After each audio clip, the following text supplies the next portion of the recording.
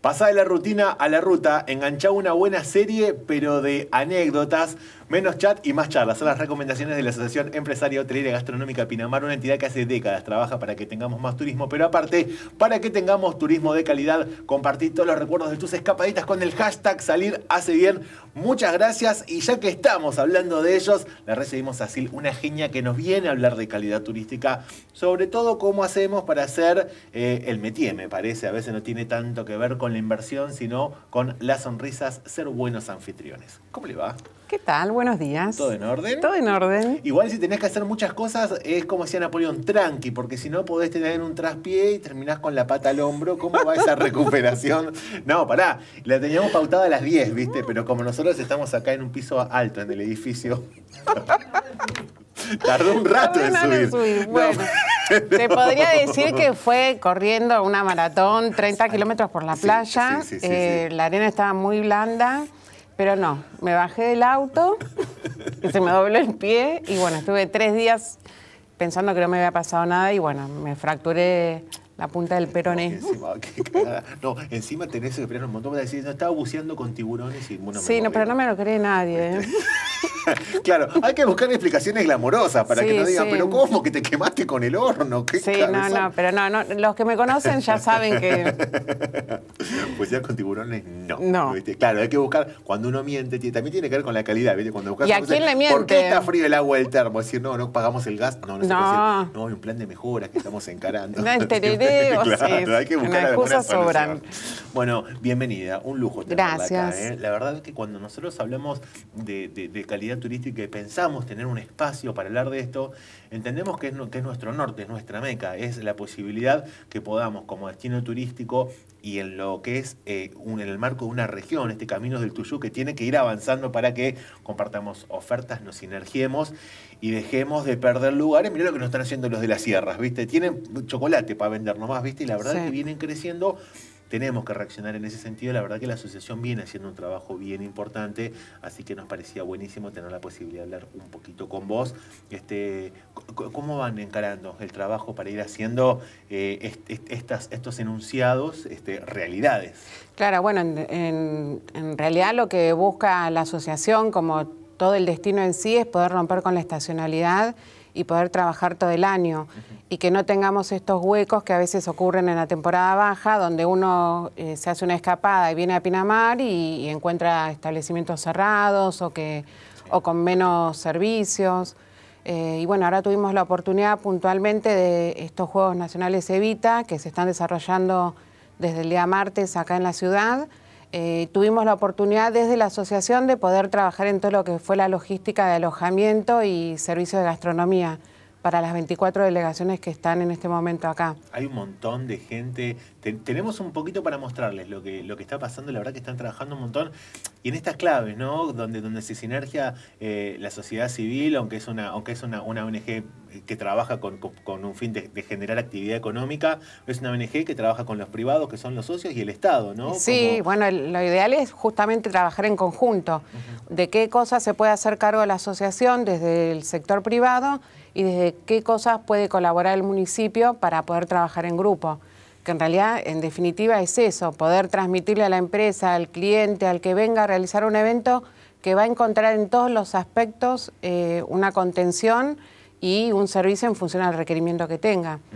Eh, ¿Cómo es esto de trabajar con algunos? Muchas veces pasa que, de acuerdo a lo que son eh, medidas que toma el gobierno, no siempre son favorables para un sector, porque a veces se están administrando y, no siempre hay para todos, este, donde muchas veces hay contrapuntos o alguna tensión natural. Es lógico, hasta es saludable, pero cuando viene, es como cuando vienen visitas a casa, ¿viste? Cuando viene gente estamos todos sonriendo. ¿Cómo es este, estar ahí codo a codo con un actor donde muchas veces hay una negociación, hay una tensión y eso, cuando viene gente, cuando estamos todos en modo anfitrión?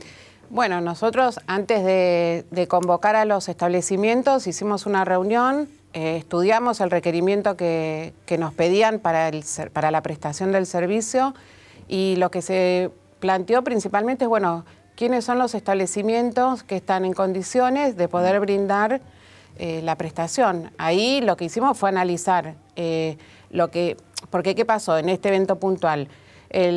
necesitaban que estén todos ubicados en una determinada franja estratégica, en, la cercanía de, los, de las sedes donde se realizan los deportes o los torneos.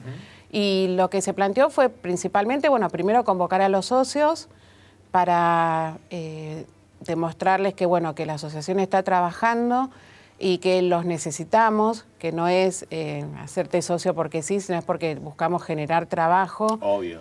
Y ya te digo, romper con esto de la temporada baja y la temporada alta, que hay trabajo para todos, que hay eventos para todos, eh, porque hoy están trabajando 17 hoteles y restaurantes y hay hoteles que son de dos estrellas, posadas, hosterías. Absolutamente. Eh, nosotros consideramos que hay para todos. No es que uno piensa que porque es un evento tiene que ser un determinado hotel, porque tiene un salón, sino que bueno, se busca ese hotel que tiene salón para el requerimiento en el caso que necesiten reuniones.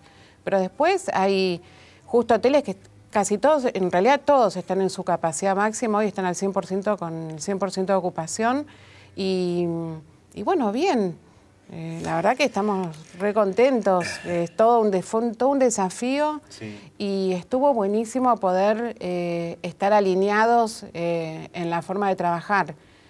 yo siempre, bueno, como te comentaba hace un rato, estuve trabajando de manera privada y ahora estar en relación con, con los hoteles y con los restaurantes y ver que todos van al mismo lado, que satisfacer las necesidades del cliente, estar dispuestos Hubo restaurantes que, por ejemplo, eh, dieron el almuerzo ayer a las 5 de la tarde porque el micro se rompió. Claro, y vos tenés que estar presto a... Y uno tiene que estar... Y bueno, y tenés por ahí establecimientos que te pueden decir que no y tenés estos establecimientos que te dicen que sí, que le dan para adelante porque la gente tiene que venir, tiene que comer, se tiene que sentir contenida, eh, cómoda. la coordinación acá también, también es no, de olfa, ¿viste? pero es un poroto que se tiene que anotar en este caso vos, quien, quien, hace la coordinación para ir advirtiendo, ir sabiendo. Y sobre esto te quiero preguntar, porque muchas veces pasa que hay esfuerzos sectoriales que quedan desaprovechados o que es, viste, cuando decís está pólvora en chimango, viste, muchas veces se hace un esfuerzo muy grande desde un sector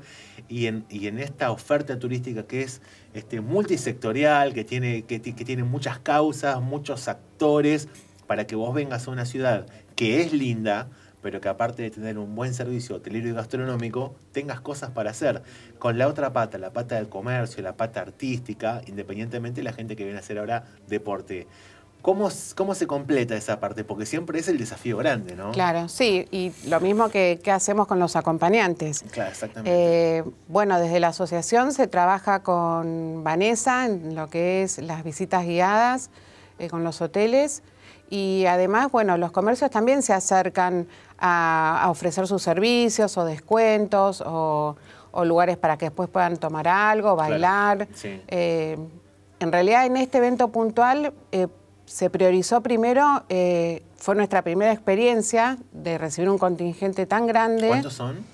y son 24 delegaciones que cada una representa a, la provincia, a cada provincia con 52 participantes. O sea, son 1.240 es una participantes. De gente, chicos, es una montaña de gente, mencionémoslo.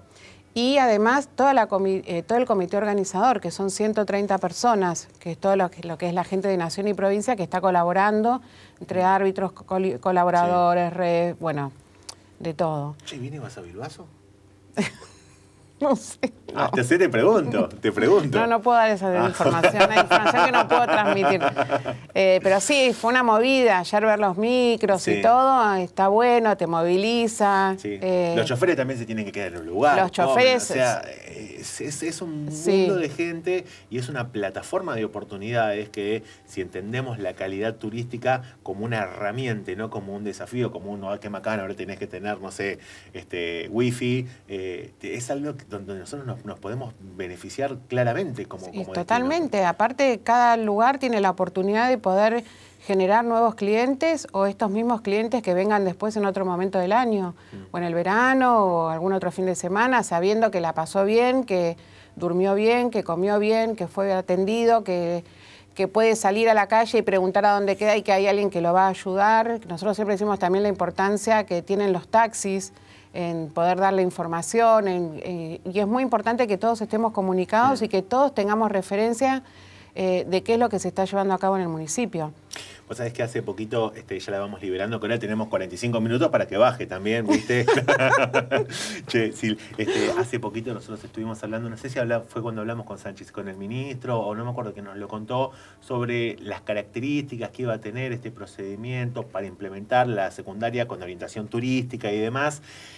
En esa pata, que parece más burocrática, también se pueden tirar redes, también se puede trabajar, porque muchas veces, bueno, listo, tenemos secundarias con orientación turística, los programas están ayornados, se trabaja, porque a veces hay compartimentos un poco más estancos, ¿viste? Sí, yo sé que la asociación está trabajando con, las instituciones eh, justamente en el contenido de estas, de estas nuevas orientaciones y carreras pero no sé mucho más. Está bien, no, bueno, pero, eh, pero sí. Porque a veces decís, estos están haciendo esto y vos también decís, che, loco, hagámoslo juntos. Y sí. sí. Es que de eso se trata. Cuando uno, yo ya te digo, como te decía antes, eh, yo vi en los restaurantes, sobre todo, que todos hicieron el mismo menú, todos se pasan la información, eh, trataron de armar pool de compras para que achicar costos. sí, algo querías vos en casa, ¿me entendés? Cuando decís, che, vamos al 2 por 1 pero tenemos que comprar el mayorista en la ruta y, le decís a la vecina, te queda con la mitad del rollo de papel. Y sí, sí. bueno, así, tal cual. Y entender que ninguno es competencia, mm. eh, que en realidad todos trabajamos en lo mismo y que está buenísimo.